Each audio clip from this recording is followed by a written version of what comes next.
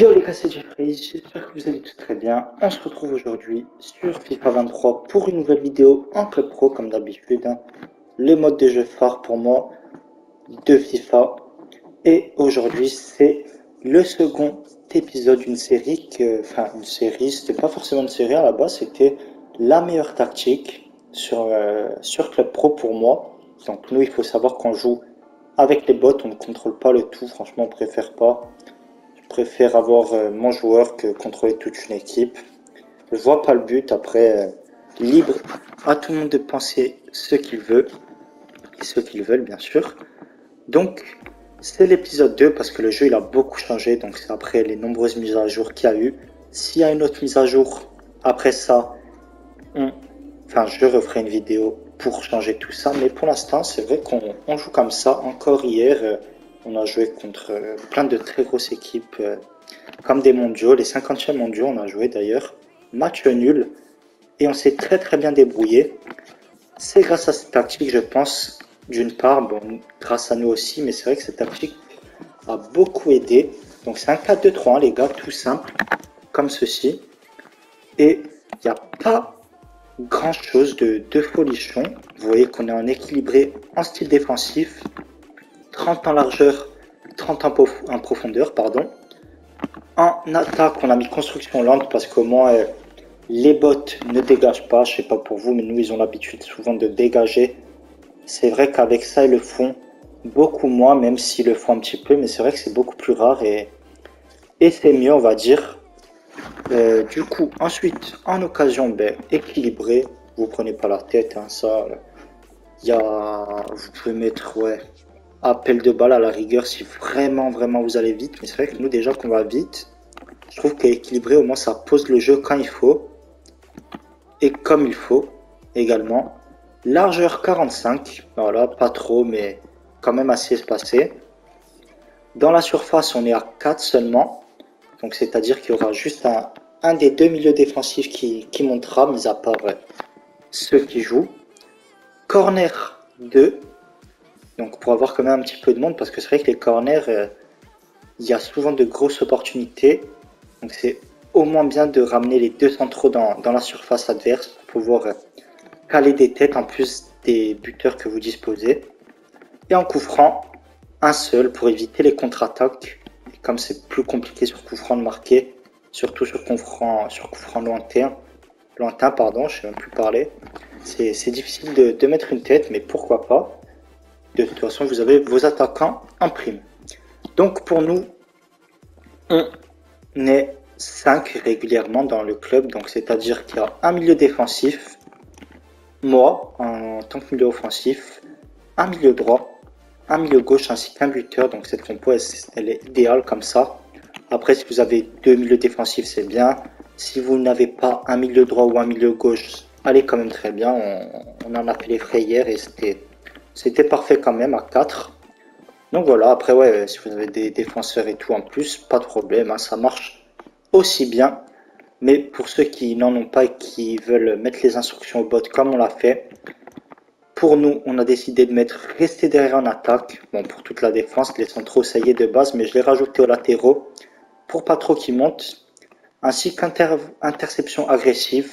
Je sais pas si ça marche tant que ça, les gars, je vais pas vous mentir mais je préfère me dire comment euh, j'ai tout mis pour qu'il puisse euh, attaquer le joueur adverse, parce que c'est vrai que souvent il les, laisse, il faire les défenseurs.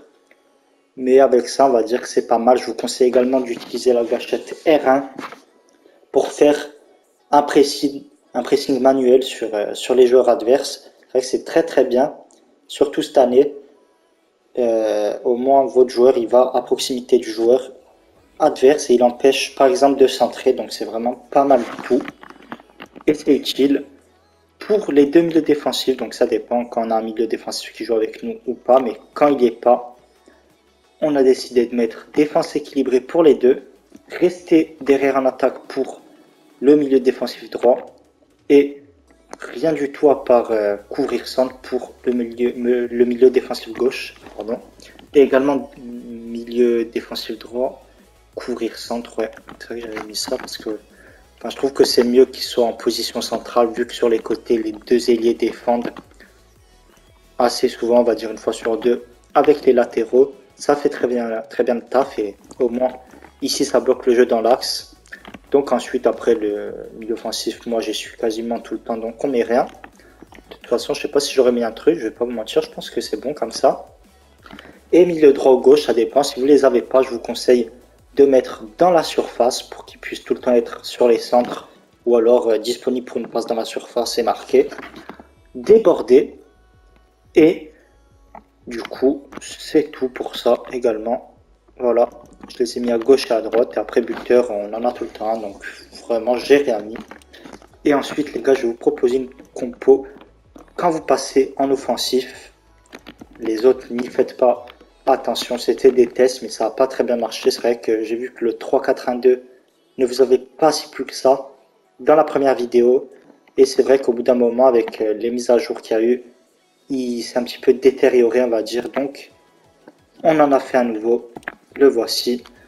Pressing constant, 35 de largeur, 72 de profondeur pour être bien haut sur le terrain adverse. Et du coup, euh, garder une, euh, distance minime, je dirais, entre vous et l'attaque adverse, comme on le voit sur le plan de jeu là. Construction rapide, ça c'est évident. De toute façon, il ne faut pas se prendre la tête. C'est dès qu'il y a une ouverture, on la met, les gars. Quand vous perdez 1-0 ou 2-0, je vous conseille de l'activer. Euh, ouais, j'irai à la 75e minute, c'est l'idéal. Parce qu'après, sinon, euh, vous allez vous épuiser trop vite en endurance.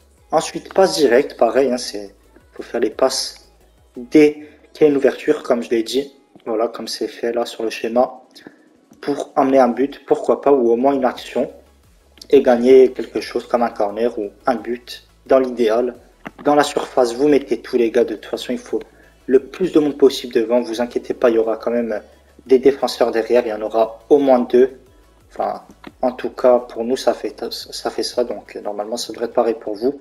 Corner et coup franc 4 et 4. On laisse quand même une petite barre pour qu'il y ait au moins un défenseur, parce que regardez, sinon si je l'enlève, il n'y a plus personne. Et contre-attaque, c'est but assuré. Donc au moins un pour euh, faire genre qu'on défend, même si on tente tout pour marquer. Et après, voilà, un dispositif, c'est 4-3-3-4 pour euh, vraiment être partout sur le terrain, sur les côtés, dans l'axe et au milieu. Vraiment, est très très bien les gars. On en a marqué énormément des buts grâce à cette tactique. Et elle fonctionne sur tout type de joueurs. Donc il n'y a aucune instruction à mettre, mis à part pour les deux, euh, mais ça c'est basique, restez derrière en attaque. Mais sinon, aucune instruction les gars, ne vous prenez pas la tête, ils vont faire le taf tout seuls, ils savent ce qu'ils ont à faire de toute façon. Aller de l'avant, presser, récupérer et marquer. Donc voilà, pour ces deux compos les gars, n'hésitez pas à me dire en commentaire quel est votre compo, qu'est-ce qui n'est pas bien sur la nôtre, vous trouvez, et qu'est-ce qui est bien sur la même du coup, euh, que ce soit l'offensif ou la tactique de base. N'hésitez pas à me le dire en commentaire les gars, n'hésitez pas également à liker cette vidéo, à vous abonner, à partager si mon contenu vous plaît. Et moi je vous dis à la prochaine.